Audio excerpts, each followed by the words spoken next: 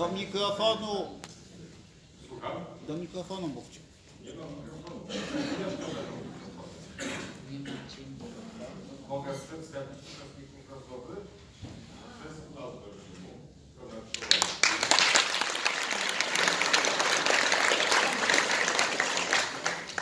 Reprezentanci poglądów obu stron, aczkolwiek poglądów to nie znaczy artykułów. Urzędnika Świdnictwa, dziennikarka publicystka okres.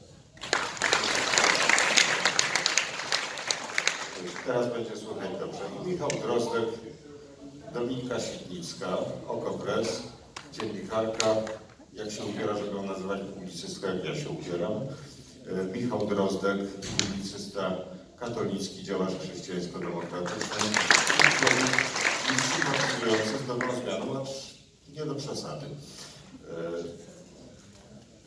no, reżysera wszyscy poznali, Konrad Szołajski, autor filmu. Trzeci brawami. Ja przed seansem opowiedziałem mu dwie recenzje, które zebrałem tego filmu. Ja się nazywam Robert Krzysztof, przepraszam.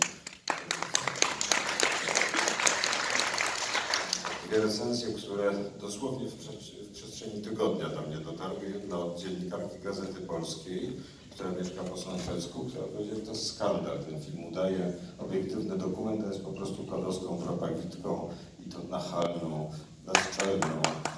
Następnie rozmawiałem z działaczką kodu.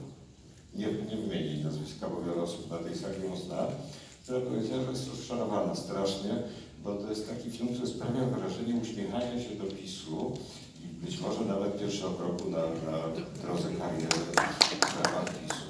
Chyba lepszej recenzji nie można zabrać niż takie dwie opinie. Y, Temat, który chcielibyśmy podnieść, mając godzinę do dyspozycji, jest tematem straszliwym. Chodzi o to, żeby po, porozważać sobie, co właściwie się stało w Polsce, co doprowadziło do tego, co dziś przeżywamy, do tej dobrej zmiany i co się stało ze społeczeństwem polskim w ciągu tych trzech lat. Mamy godzinę. Co więcej, połowę tej godziny chcielibyśmy poświęcić na rozmowę z udziałem Państwa, dlatego ja nie będę okradał już czasu naszych gości. Dziękuję, te oklaski były złośliwe. Będę okradał czasu naszych gości i przekazuję autorowi filmu przez mikrofon.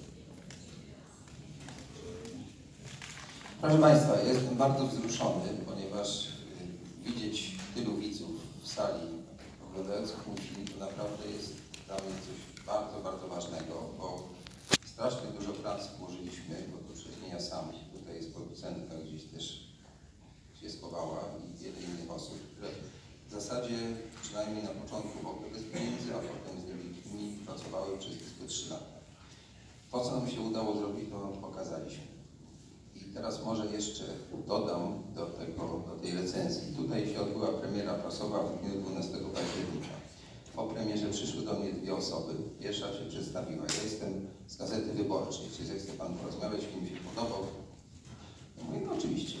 Druga pani podeszła i mówi, ja jestem z Gazety Polskiej. Film mi się podobał, czy możemy porozmawiać? I potem poszły dwie recenzje, nie takie złe, właśnie obie dobre. To było bardzo fajne. Wobec tego nie wiem, jaką Państwo wolą konwencję. Ja proponowałbym, żeby jednak wymienić się poglądami na początek. Miejmy z głowy ten przykry moment. Oddałbym publicystom głos, żeby powiedzieli w skrócie, no tak jak to się da w tak krótkim czasie powiedzieć, co właściwie się w tym naszym kraju stało i co się dzieje w tej chwili. Wszyscy czujemy to, wszyscy widzimy to, że trzy lata przeorgały społeczeństwo.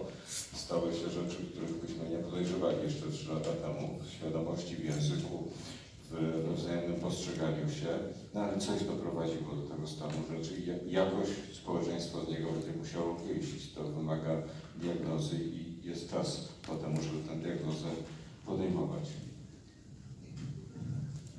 To e, mm, nie wiem, czy to będzie diagnoza, e, mm, tylko może taka uwaga. E, no, ten film e, bardzo dobrze pokazuje e, to, co się stało, a mianowicie do władzy doszła taka partia, która z jednej strony dowartościowuje wszystkie takie ruchy mm, skupione wokół kościoła, wokół celebracji, tradycji, religii i mm, daje im e, jakąś taką godnościową narrację, też daje im pieniądze na różne takie inicjatywy. E, no a z drugiej strony e, ta partia też e, łamie praworządność, e, łamie pewne zasady, konfliktuje się z Unią Europejską, e, przyjmuje sądownictwo, e, no więc jakby ma, ma takie dwie twarze, tak? I e, obsługuje mm, mm, dwa plemiona, takich się trochę nieładnie, nieładnie o tym mówi, więc e, ten, ten film dobrze to pokazuje. Dzień dobry Państwu. Ja uzupełnię tylko przedstawieniem przez e, Roberta Krzysztonia, bo e, przede wszystkim chciałem tutaj wykorzystać moją profesję, czyli jestem socjologiem, e, socjologiem zarządzania, trochę filozofem społecznym e, i dopiero na drugim miejscu e, publicystą czy działaczem chrześcijańsko-demokratycznym. Poza tym e, Jestem kibicem dobrej zmiany w pewnych aspektach, natomiast zdecydowanie nie jestem jakoś formalnie związany. Pracuję w Najwyższej Izbie Kontroli, z daleka od szumu politycznego i nigdzie e, do żadnej organizacji politycznej nie należę.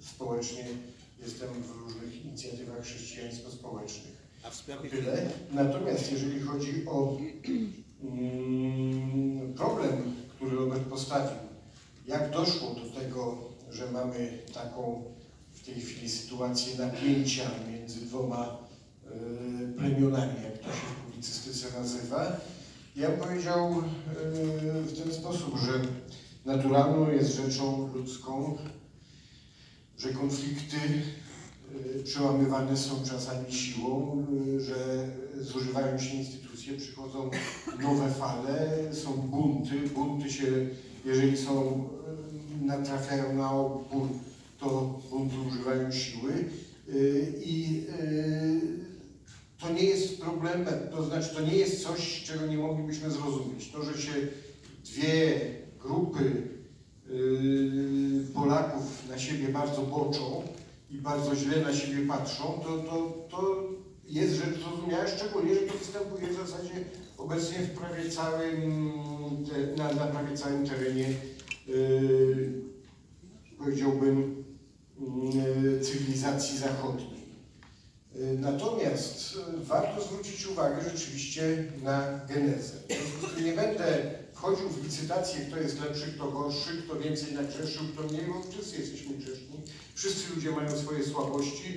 Pan był na tyle łaskawy w tym filmie, że nie pokazywał wad obydwu stron, raczej je pokazywał dobrze, dlatego obydwie strony były zadowolone. Natomiast y, znam takich, którzy się zajmują głównie wyławianiem, pokazywaniem wad. To jest strata czasu, bo to tylko napędza spiralę nienawiści. Natomiast y, skąd się bierze? Ja myślę, że po tych traumatycznych, strasznych przeżyciach II wojny światowej w bardzo wielu krajach, w tym w Polsce niestety nie mieliśmy możliwości tego zrealizować, pojawiła się refleksja na temat tego, jak urządzić świat, żeby był lepszy. Żeby rozwiązywać problemy, a nie żeby one się piętrzyły. A co to ma wspólnego z filmem?